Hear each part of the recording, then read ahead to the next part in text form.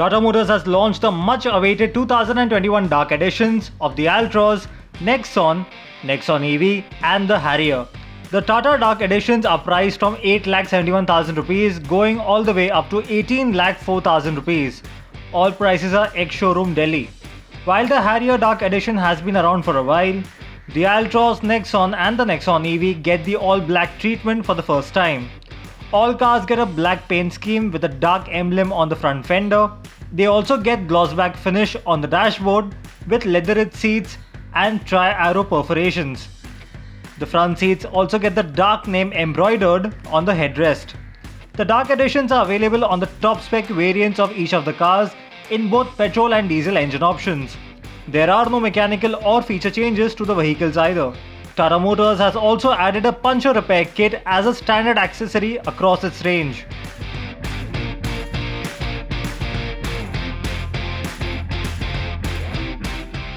It's an exclusive from Car and Bike. Classic Legends will increase prices of its Jawa motorcycles from 8th of July 2021.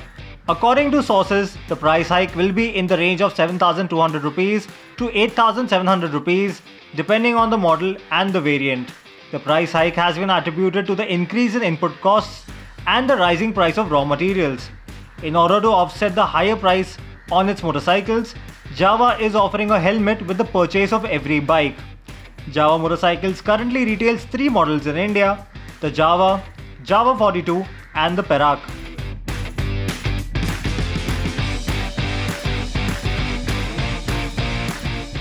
Citroën India is continuing with its plan to bring one new SUV to the country every year and will bring the C3 compact SUV to the country in 2022. The automaker confirmed the development in a recent interaction with the media and also revealed that the SUV will be locally built at the automaker's facility in Tamil Nadu. The Citroën C3 will be based on the highly localized common modular platform. It will draw power from a small capacity turbocharged petrol engine the SUV's development will also see inputs coming from Jeep India. Both brands come under the parent company Stellantis. The new C3 will compete against the Kia Seltos, Hyundai Creta, Skoda Kushaq and the upcoming Volkswagen Taigun in the segment.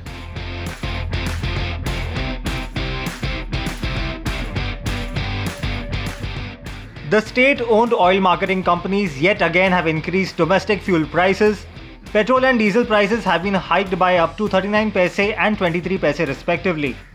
With new prices coming into effect, petrol has breached the 100 rupee mark, retailing at 100 rupees and 21 paise per litre in Delhi and 100 rupees and 23 paise per litre in Kolkata. In the national capital, diesel has become dearer by 17 paise at 89 rupees and 53 paise per litre. Customers in Kolkata will now pay 92 rupees and 50 paise per litre for diesel. In Mumbai, petrol has breached the 106 rupee mark, while diesel has touched a new high of 97 rupees and 9 paise per litre.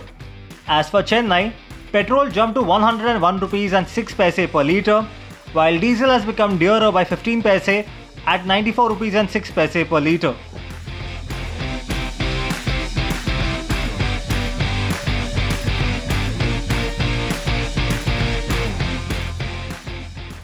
We simply love, love, love hearing from you. So your comments and feedback are important. Subscribe to our channel, react to this video, and of course, watch our other videos too.